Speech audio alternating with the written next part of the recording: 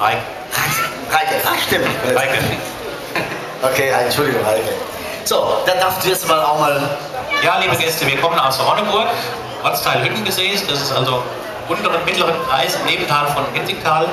Und wir ähm, stellen uns heute vor mit unserem Kochbuch. Wir haben das Ronneburger Hügelland Kochbuch jetzt neu auf den Markt gebracht mit jede Menge Rezepten aus dem ländlichen Bereich von zwischen Hanau und Gelnhausen und Büdingen und haben mit jede Menge Hausfrauen, Landfrauen, Omas, Bürgermeistern, Pfarrern haben wir dieses Buch zusammengestellt und haben mit sehr vielen Fotos ein kulinarisches Heimatporträt auf den Markt gebracht. Und ein Gericht, was wir daraus heute kochen, ist Apfelmuffin oder Apfelkuchen im Glas. Ist also einfach für Sie nachzukochen. Das geht in einer halben Stunde, haben Sie ein schönes Dessert. Und der Vorteil ist, wenn Sie den Kuchen im Glas machen, Sie können den auch lange aufheben.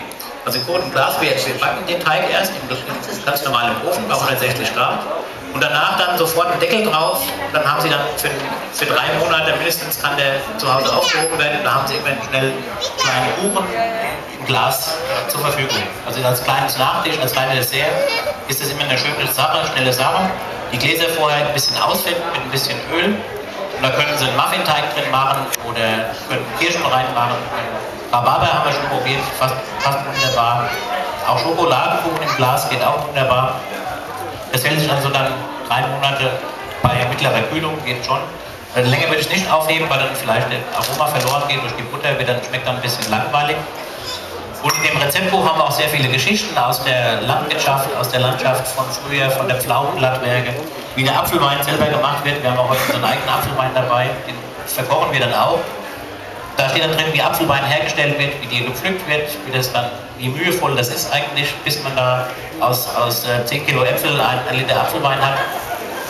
Oder fast, fast so viel. Ähm, und äh, es sind viele Erinnerungen aus der Landwirtschaft dabei, von der Dreschmaschine, wie man früher gedroschen hat. Und wie einfach man es noch heute hat in der, im Haushalt oder in der Landwirtschaft oder am Wäschetag. Und diese Sachen finden Sie alle in dem Heimatkochbuch. Die Kollegin da drüben gerne mal reinschauen, wenn Sie möchten. Es sind also sehr viele Heimateindrücke drin, Brunnen, historische Sehenswürdigkeiten, Kirchen, Landschaft, also einfach ein, schöner, schönes Heimatporträt. Ja. Schön.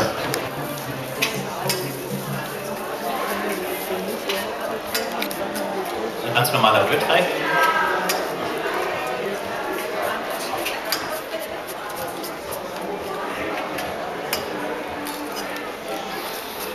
wir jetzt schaumig. Wenn man so eine Maschine nicht hat, Ein Hand kann man das dann machen. Mit Hand Hand, geht das Hand, auch. Handrührgerät geht auch. Ja? Also mit, mit der Hand selbst geht es auch irgendwann mal, aber ein richtiges Volumen kriegt man besten. Knüppeln kann man das nicht. Nee, nee. Zerteilen. Küchengerät oder ein Hand Handrührgerät funktioniert am besten. Ja? Jetzt schön mit Zucker schaumig schlagen. Wie viel Zucker soll es immer? Ich habe jetzt hier 360 Gramm Zucker, 6 Eier. Nachher kommt noch 400 Gramm Mehl dran, ein bisschen Backpulver. Was jetzt ganz besonders lecker ist, jetzt machen wir ein bisschen Apfelsherry rein. Sie können auch einen Calvados nehmen oder einen Apfelbrand, den Sie zu Hause haben. Das fördert einfach nur den, den Eigengeschmack des Apfels ein bisschen. Machen so zwei Zettel rein. Kann man auch weglassen. Also, der Alkohol verfliegt zwar bei 75 Grad, aber wenn es keinen möchte, muss nicht, geht auch ohne. Die Eier müssen ein richtiges Volumen haben, das praktisch auf das Doppelte fast aufgeht. Und danach hilft man dann praktisch Mehl und Backpulver unter.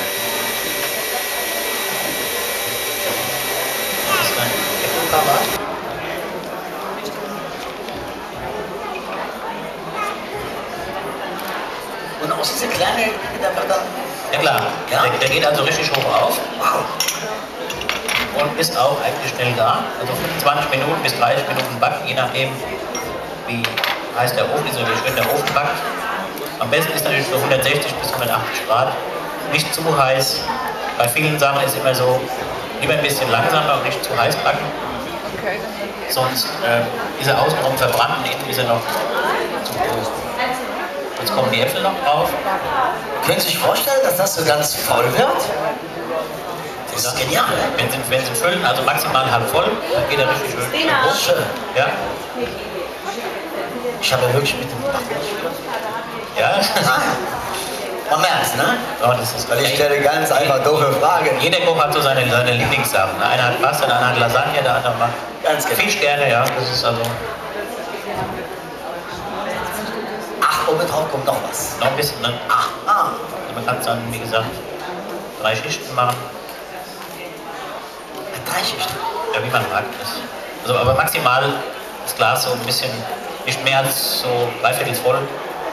Sonst guckt oben man raus aus dem Deckel, dann muss man Stück abschneiden, bevor man sie jetzt einkocht.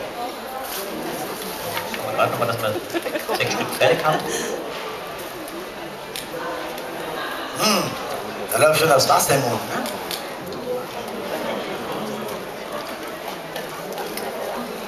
So, dann schneiden wir noch ein paar Äpfel, in der Zeit machen wir schon Sabayon. Machen wir mal einen Apfel dazu.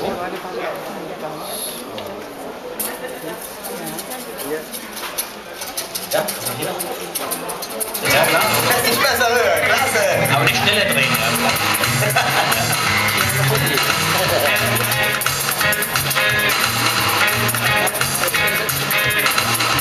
Sie sehen, das Volumen geht auch jetzt schon aufs Doppelte auf. Das ist jetzt schon fast oben.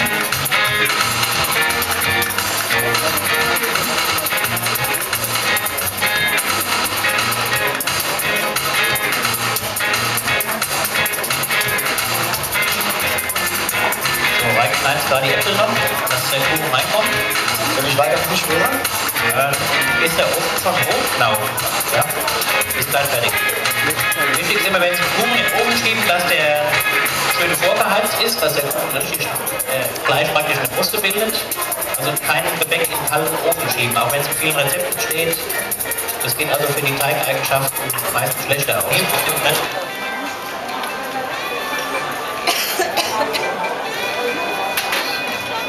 Ja, aber da geschnitten, oder? Äh, ich glaube auf den Schneidbretter. Brauchst du noch ein Brett? Oder reinschnipsen das. Brauchst du noch ein Brett? Ja genau, wir nehmen noch, wenn du eins hast. Aber dann tauschen wir die Plätze. Perfekt. Weil hier sehr heiß ist, möchte ich nicht. Ja. Wir wachsen ein bisschen. So, Organisation ist alles. Perfekt, ja. Und so ist der Kuchen, also super locker, super zart. Machen wir so Und dann machen wir drauf. Ja. Und dafür war das Einfetten am Anfang so wichtig, dass er schön am Rand gelöst ist und am Boden. Äh, machen wir nicht für. Jetzt Für vier, für vier. Ein, vier, ne? vier Teile, ja. Ja. Ja, also so einmal halbieren. Praktisch Viertel. Ja, das sieht doch besser aus. So. Jawohl. Was kommt sonst noch dazu? Ein bisschen die Weintraumsoßen, noch ein bisschen Okay, ich gehe dann auf die andere Seite und Genau. teile das mal Rocco macht. unsere Gäste. Ja? Das Ganze machen wir ganz klar, musikalisch. Ja, jetzt macht der Rocco. Ah. Ich überlege nur gerade. Was passt jetzt? Was passt jetzt zum Apfel? Ja. Ja, ich warte noch ein bisschen, ja. bis ihr so weit seid. So.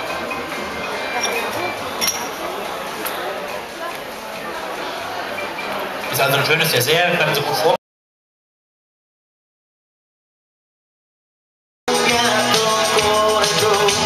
Che compagnia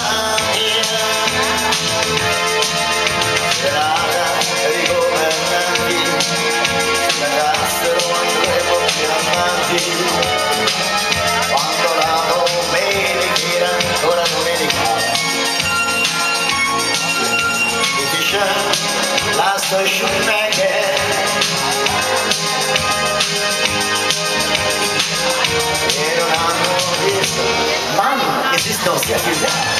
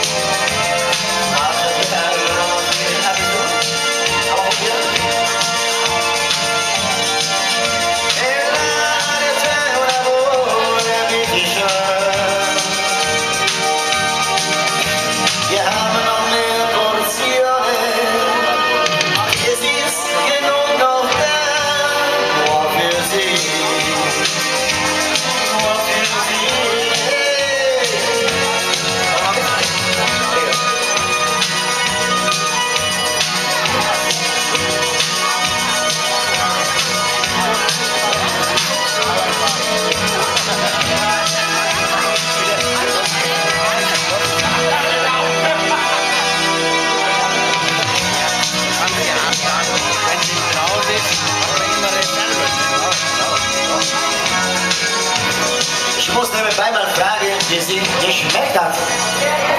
War da lecker. Ein Applaus also für Rainer und Reik. Ich war schon dran, ich hätte nichts vergessen. Ich war noch nicht schnell genug. Der hat so wie wird immer vergessen, Arm. Ja. So, noch ein paar Gabel brauchen wir noch. Vanillesoße. Wer hat's noch nicht? Weil jetzt